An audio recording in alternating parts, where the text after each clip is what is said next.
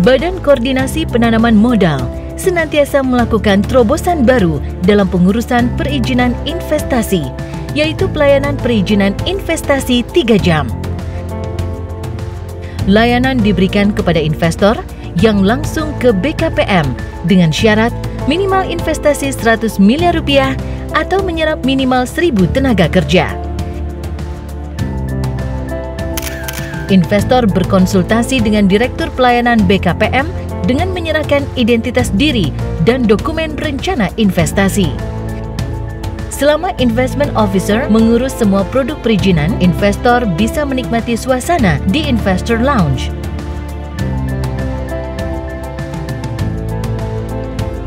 Setelah proses layanan perizinan investasi 3 jam selesai, investor memperoleh 9 produk.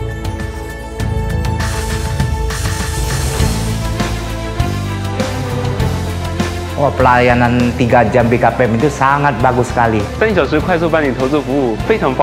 Kami sangat terkejut dan sangat puas dengan hasilnya. Sekarang, berinvestasi di Indonesia lebih mudah.